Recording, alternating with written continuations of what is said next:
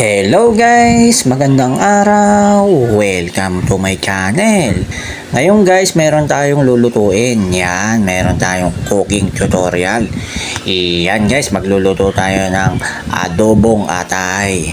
Iyan, meron tayong mga sangkap na ni-ready. Yan, meron tayong suka, toyo, dahon ng laurel, patatas, bawang, sibuyas at pamintang buo at ang ating main ingredients na atay. Iyan guys, masarap ang kakainin natin ngayon kasi magluluto tayo ng adobong atay. Tara guys, let's go. Samahan nyo ko. Tara, lutuin natin to.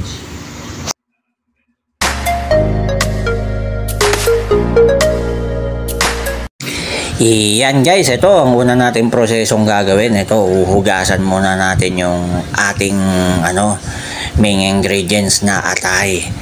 Iyan, mahalaga kasing hinuhugasan yan guys kasi para pag niluto natin wala siyang lansa. Iyan guys, hiwa-hiwain natin ng pa-square yung ano, yung atay. Yan, para mamaya yung patatas square din siya. Yan, parang style din ng gayat ng baboy. Iyan guys, gaya tayo ng sibuyas. Yan, panggisa natin.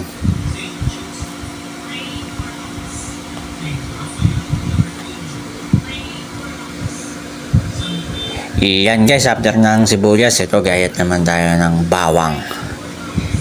Iyan. Para mamaya gigisa natin yan.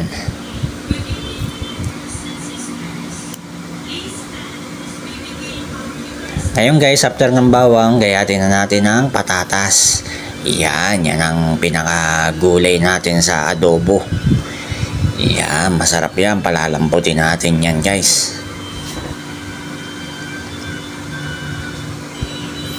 Ngayon guys, yan na, kompleto na yung sangkap natin. Yan, nagayat na natin sila lahat. Yan. Ngayon guys, buksan natin ang kalan yan. Painitin na natin yung kawali sa mantika. Yan guys, oh.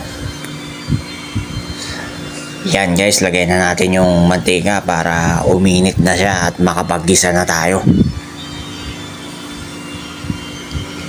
Yan guys, napakadaling lutuin lang nito kasi ano lang yan, parang same procedure din yung ano adobong baboy. Yan kasi ano lang, pinaltan lang natin yung main ingredients. Yan guys, ito ilagay na natin yung ano, yung bawang. Yan. Yan guys. Madami-daming bawang, mas masarap.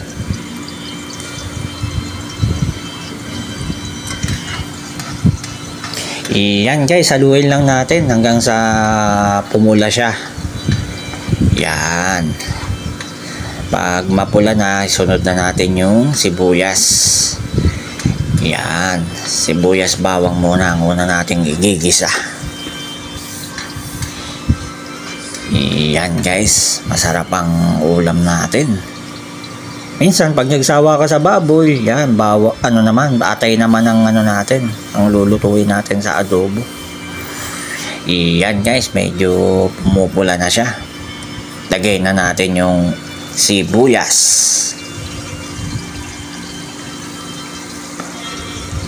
Yan, kaya minsan pag nagsawa ako sa ano sa baboy, ang inaadobo ko naman yan atay.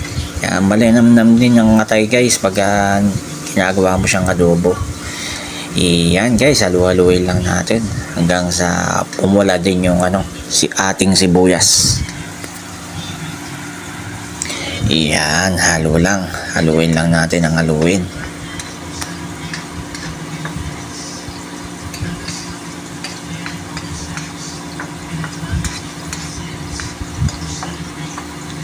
Yan guys, basic na basic ng pagluluto ng ano ng adobo kasi lutong Pinoy yan.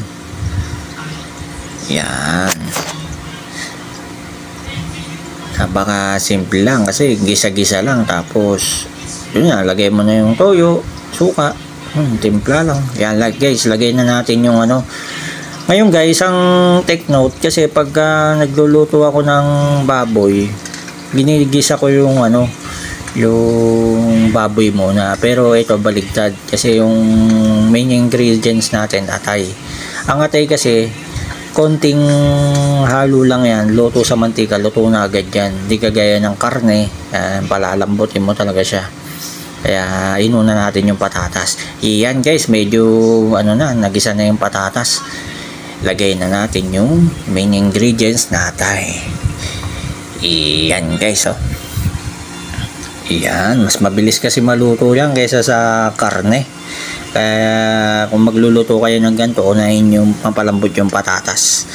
Para ano, bago maluto yung atay, luto na rin yung ano, yung patatas, malambot na siya. Iyan guys, halu-haluin lang natin. Iyan oh, sarap niyan guys, ang sarap niyang atay. Minsan lang ako makakain yan. Yan guys, eh, ilagay na natin yung dahon ng laurel. Yan, nagpapabango yan sa adobo natin. Ah, nagpapasarap din. Tapos guys, lagay na natin yung pamintang buo. Yan, hindi mawawala sa adobo natin yan, pamintang buo. Yan, halu-haluin lang natin guys. Yan guys, napaka simpleng lutuin pero masarap. Yan, halo lang ng halo guys hanggang sa pumula rin yung ano, yung atay. Yan oh. Ngayon guys, lagay na natin yung ginisa mix. Yan, para malasang malasa yung ginisa natin. Lagyan natin yan. Yan, dagdag sa pampalasa. Yan guys, halu-haluin lang natin. Yun lang ang kaibahan guys ng ano ng adobo sa baboy. Ang karne ng baboy mas matagal siya lutuin. Hindi kagaya na itong adobong atay. Yan, konting gisa-gisa lang yan, luto na agad yan. Yan guys oh.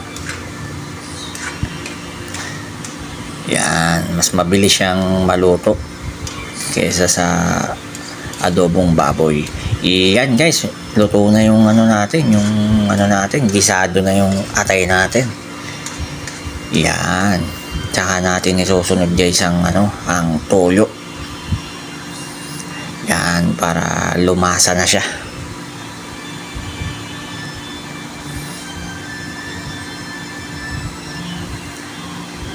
Yan guys, lagay na natin yung toyo. Yan, sakto lang ang ilagay natin para hindi siya ganun kahalat. Minsan kasi pag nasosobrahan sa toyo, ang alat niya.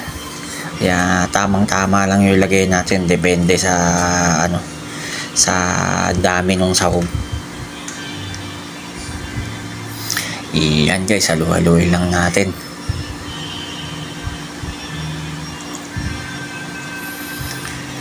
Iyan, lagyan natin ng tubig guys, yan. Ayan.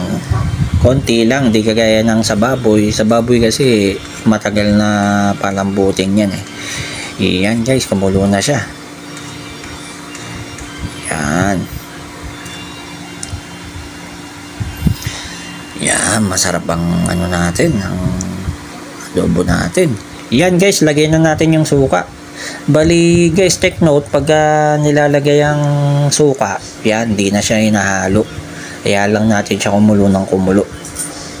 Pag kulong-kulo na siya, saka natin siya haluin. Yan guys, oh. Yan guys, kumulo na siya ng maputi. Yan, halu-haluin lang natin siya. Yan guys, pag ganyan na, na ano na, na lagyan na ng suka, kumulo na siya.